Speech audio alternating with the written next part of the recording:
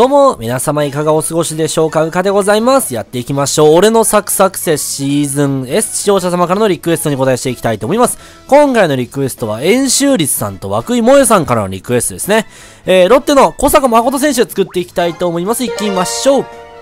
えー、右投げ、左打ち、えー、ショートで作らせていただきます。オープンスタンスぐらいでいいかな。とりあえずやってみて。で、チームは無論ロッテ。えー、っと、どうしようかな。守備走塁で行ってみようかなっていう感じでちょっと行ってみたいと思います。行きましょう。まあ、まずはやってみてですよね。で、どうなるか、ちょっと見ていきたいと思います。行きましょう。初期状態いいといいな。ほい。うん。ミートが、守備はまあ高くていいんだけど、ちょっと走力大変だな、上げんの。まあ、やっていきましょう。下にいんのこれはダフィー選手。あー。迷うな。まあ、まずはちょっとここじゃ行っちゃいましょう。はい。で、いや、いきなりマイナスか。ちょっとやだな。はい、そして、えー。会えると思ったんだけど。じゃあ上、はい。かよし、大回復。で、アウト。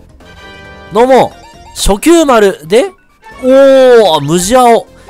弾道は特になんか無理して上げることもなくて、2でいいかなっていう感じなんですよね。肩アップ。よしよしよし。上げてこう、ちょっとずつ。補給アップで、これはやる気上げない方が得策と見た。あれちょっと回復量が少ない。もうちょっと欲しかったな。じゃあ、ネクスト行きましょう。ステージ2。さあ、まずは、えー、いや、うーん、ある程度、青取ってから、やる気を上げようかな。赤は極力踏まないようにしていきたいんですよね、こういうのって。さあ、来い。お、いいところに来た。うい。で、回復。5。まあ、いいか。で、戻って、選手にアウト。うい。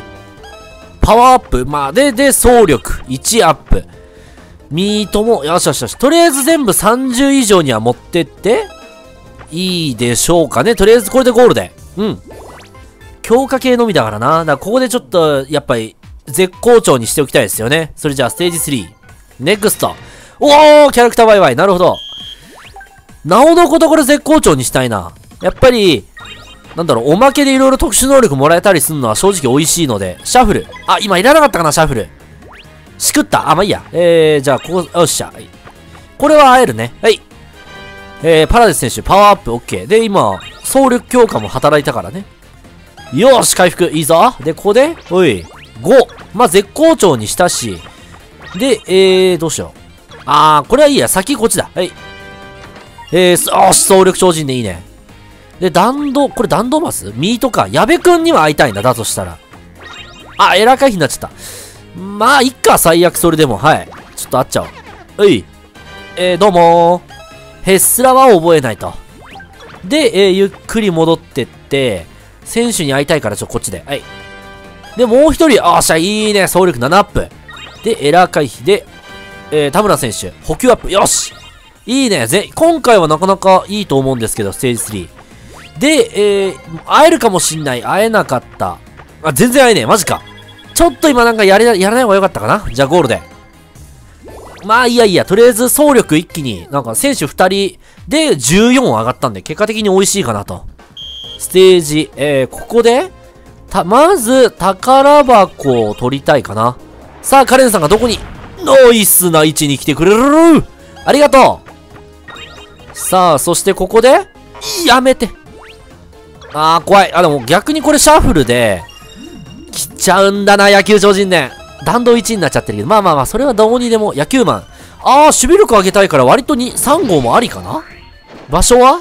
あー、どちらにせよシャッフルはしちゃおう。そしたら。ちょっと遠いので。じゃあ、ここでシャッフル。ゴール前の赤を減らして、かつ、会える。ちょっと遠く行き過ぎたけど、まあいいや。はい、オッケー。あー、守備力補給が上がってて、ミートダウンはちょっときついか？はい。えー、補給、おーし、いいよいいよ。はい。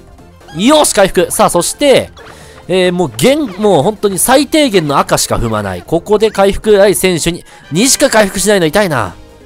で、肩、固め打ち。はいはい。固め、やばいじゃあゴールで。危ない体力がギリギリ。特になんか身を守る術がないからちょっと苦しいぞ、これ。ステージ5ラスト。しえー、っと、まず、えー、これでしょ？で、優先、守備守備でミートかな？パワーよりかは。はい。守備、守備と。オッケーいいね、効いてますよ、強化系が。で、とりあえずこっちか。えー、守備。はい、そして？ああ、守備超人ね。えー、いただきました。で、エラー回避も上げて、さあ、カレンさんがどこに来るか。ん？どうだこれ？ああ、いや、多分大丈夫でしょ。ほい。回復、よし。これ、ロックオンはない。10。っていうことは、こっちもいけちゃう。シャッフルしようか迷ったんですけど、結果いきま、あいや、どうしよう。ミートアップ、はい。ミート C で、で、どうしようかな。えー、っと、これちょっとやる気さ、戻ってって確実にカレンさん物にした方が早いか。いや、それもちょっと危険だな。まあ、でも、まず戻ろう。ちょっと危ないから。うい。一旦待ってね。よし、オッケー、耐えた。で、いいえで。オッケー間に合ったふい余ったこれやらない予感がする。何かが起こる。ま、まずは回復で。はい。これ変なよ、変なよ、変なようえまあいいや。で、これで最悪、もう一回選手に会ってかな。ほい。えー、1、2、3、4、5でもう一回いけるな。で、1、2、3、4で、あれ？待って、1、2、3、4、5でラスト1回。はい、あ、無理だ。全然会えねえ。マジか。じゃあゴールで。どうなんでしょうちょっとなんかこう、かなり総力と、えー、守備に主眼を置いてきたんですけど、うーん、弾道がちょっと足りないかな？そんな気がしてきた。えー、ということで、まあちょっと一応見ていきたいと思います。えー、OB かな？えーっと、まあ、もし、あ、いたいたいた。あー、総力 S 守備、そうだよな。ちょっと足りなかった。弾道2だし。うーん。方向性は間違ってなかったんだ。あともうちょっと、伸び、全体的に伸びてきゃよかったんだな。うーん、惜しい。ということで、じゃあ一応これで完成とさせていただきます。まあ、でも、うん。テイストは似てなくもないかな？なんて。これ、走塁 C、そう、盗塁 C とかそういうの欲しかったな。